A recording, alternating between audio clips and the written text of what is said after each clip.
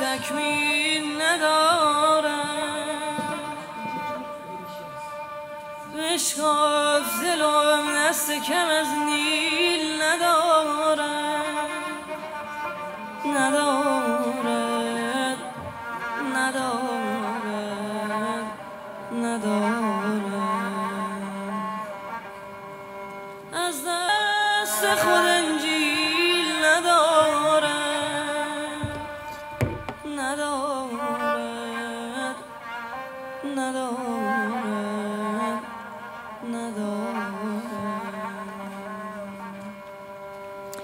Thank you, Laurie. That's fine. Well, um, welcome everyone to the British Museum, and many of you will know that this is one of a series of wonderful collaborations that the museum has been doing with Magic of Persia over the, these past years um, on, Iraq, on, on Iranian artists and focusing on artists whose work is represented in the collection of the British Museum. So I want, first of all, to say a huge thank you to Shirley Elghanian for initiating this, this series and for all that she has done uh, over the years to support artists. Um, and she's been doing this assiduously for many, many years. And many of you, I'm sure, have attended these absolutely fantastic um, Magic of Persia uh, events. And here, the focus is on this amazing wrestler called Takhti. And Takhti was a Pahlavan um, and considered uh, the greatest contemporary Pahlavan of the modern era. He was not only a wrestler of enormous physical power, prowess, but also embodied the chivalrous spirit known as Javan Mardi. And I always thought that actually Khosrow embodied that spirit uh, as well. The box can be likened to a hejleh the small personal shrines placed at the roadside that commemorates a loved one, often someone who has died in the service of their country and is considered a martyr. And of course, what this was about was the world of the Zorkhane. And this is where wrestling takes place, as you all know. And one of my enduring memories was the Zorkhane that I organized with my friend and colleague Vesta Curtis, where we brought the Zorkhane, would you believe, of Maid Maida Vale to the British Museum. Uh, by 2002, uh, he, he always told me, oh, I want to go to Beirut, Beirut. So I found a gallery in Beirut, uh, Janine Bey's gallery, uh, directed by Nadine Begdache, who said, I love his work, let him come. At that time, there was no visa problem with between, and still there is no visa problem between Iran and Beirut. So he came, and he loved it, and he showed a lot of his works there. He did actually three solo shows in, in, uh, in, in Beirut on every two years. This is with Nadine Begdache, the owner of the gallery. They did the whole series of the Chador and Ashura series, which are sort of like monotype because each of them, they look the same as if it's a print, but in fact they are quite different because each of them he adds something, an element, a new element to it. And then by um, uh, in 2002, the same year that he exhibited in Beirut, there was this serial, uh, serial killer in Mashhad who had killed uh, um, 16 prostitutes. Uh, he was only 39 or something like that, but you will see it in the, in the film of Maziar Bahari, who was here, an old friend of, of Khosrow also here, uh, who so he wanted to give homage to these women really who are really do, do, doing the job they did uh, because they, they were in financial need. And uh, so he gave them, he made them sometime bigger than nature, huge portrait of them that I exhibited later on in 2003 at the House of World Culture. These are, you can see the size. This is Khosrow, who is already 12 meters tall, you know. He looks tiny next to this uh, portraiture that he gave, monotypes that he did of those prostitutes. Then he moved little by little to these uh, works that he wanted to do tiles. And uh, uh, with Arab singers here, you can see uh, uh, Asmahan, Sabah, Om Kalsoum. So all these singers who were in the book of Chant, Fairuz and so on. Chant did census of them in Egypt. And he loved Chant's work. And he did the whole panels in ceramics with the Arab singers, but before that, it was also, as you could see before, the collection of Iranian uh, singers and dancers. Uh, ben Vinisha asked me to name the uh, sorry, the title of my talk, I said it's Khosrow Hassanzadeh, my friend, the war veteran, the uh, grocer, and the artist. So with Khosrow, what I found was that he wanted to do everything. And of course, as Rose said, until 1999, he had not left Iran. He did not know that much about Western culture. He had not experienced Western culture. What he knew was from the books and he read so many books. It, he was like an encyclopedia. When I went to, uh, you know, I was always priding myself about knowing Russian literature and French literature, and he had read Tolstoy, Dostoevsky, Chekhov, Lermontov, whoever, and you know, we were talking about that. And at the same time, when I was talking to Khosrow, he wanted to do things. The first thing, actually, after maybe three minutes after we met, he said, "Why don't we write a script together?" I was like, "You don't know me. I might be, you know, might be a horrible filmmaker. I might be, you know, someone that you cannot trust." But he wanted to do things. So for the five years that we had this intense friendship and cooperating on different projects, we did so many projects together. Uh, the last one that I show first is uh, the poster that Khosrow did for my film And Along Came a Spider, which was about uh, Hanaei, the killer of uh, 16 prostitutes in Iran in 2001. And then inspired by those, uh, by the film and inspired by uh, people's reaction to the series, to the chain murders, he created this series of posters called Prostitute. In the beginning, I saw something very different uh, with Khosrow as well. That even though he was not political, actually, politics kind of made him uncomfortable, I, I saw his work really political.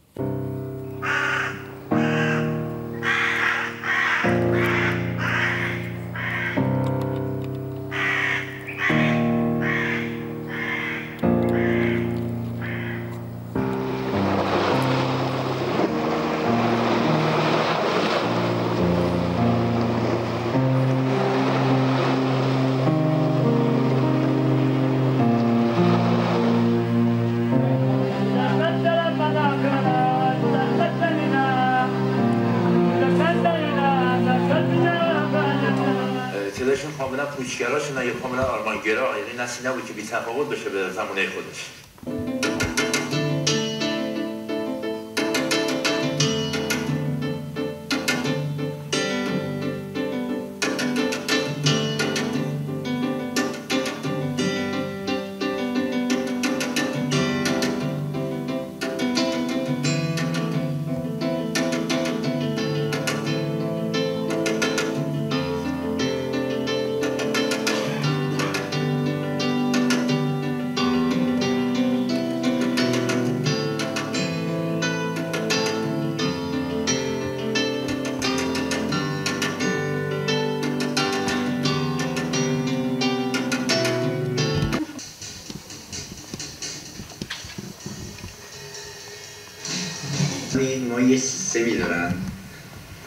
خارج از اون سیستم نمی‌تونی حتی آرزو کنی.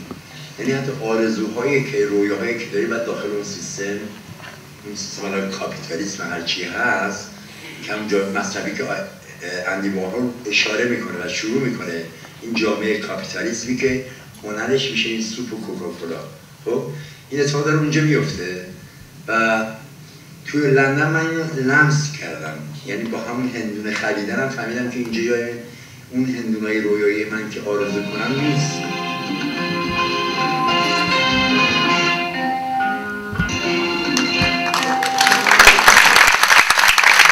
هنوز فکر می‌کنم خیلی وقتا با وجود که دو ماه روز گذشته فکر می‌کنم خیلی وقتا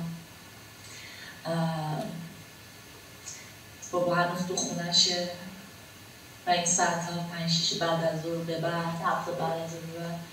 چایش الان حتما دم شده است که دو تا دوست آشنا صدا کرده یا خود من قرار برم پیشش A few minutes presentation to cover Khosrow's remarkable life and work would leave much to be desired. Not that it would have daunted Khosrow the least, he wouldn't have allowed himself to be troubled by such petty reservations.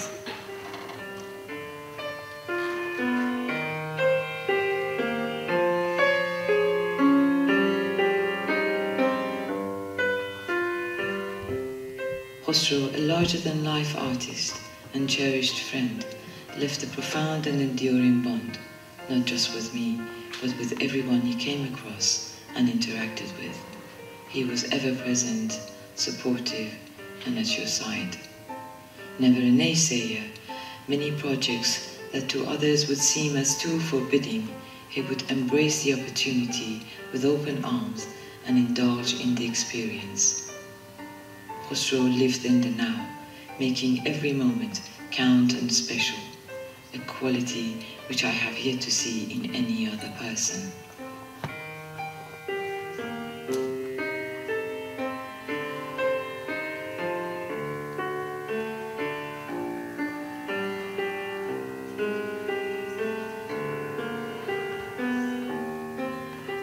I feel that his enduring presence will be with us for a long time yet.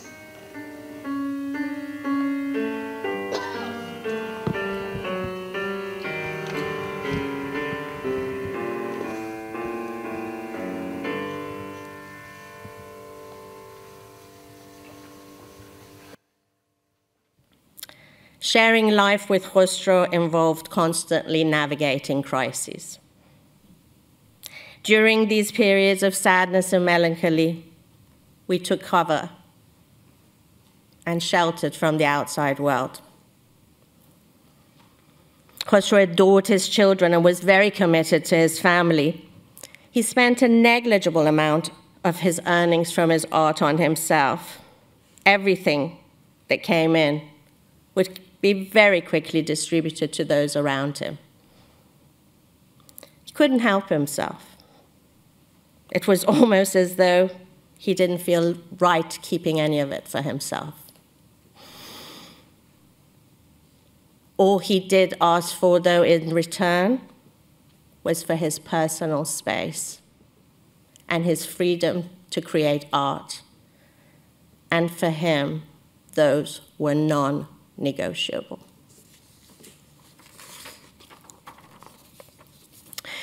He was tenacious about his work, and uh, when he started a project, he would never stop until Tahish Darbiat. He got to the bottom of it and completed it. He worked a full day, and his evening only started until everything was very neatly put away. He was changed and showered and had splashed on his favorite aftershave. But refreshed and satisfied, he was entirely available for what the evening would, would hold. Khosrow was clearly affected by the recent events in the country. And, in, and on our last trip this summer, despite so many pleas for him to stay on, he was anxious to return home to work on a project about celebrating the women, the strong women of Iranian history.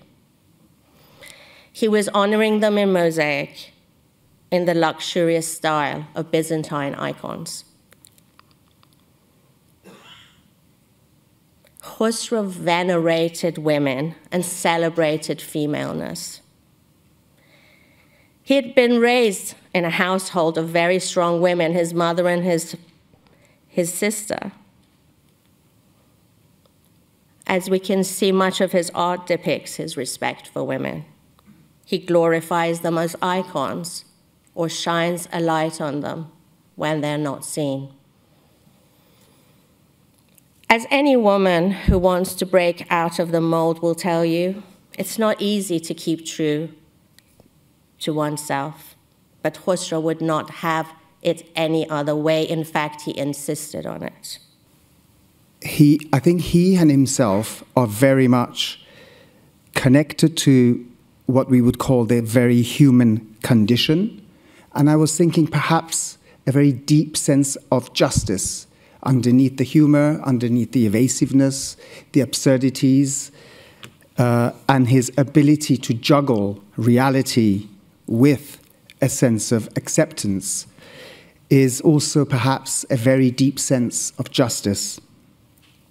And I think for his passions and for his thoughts, we can give just a moment of silence at the end of this uh, incredible day of remembering Khosrow, just to remember him as a man and a vital force and an artist that he was and what he gave to the sensibility of being Iranian.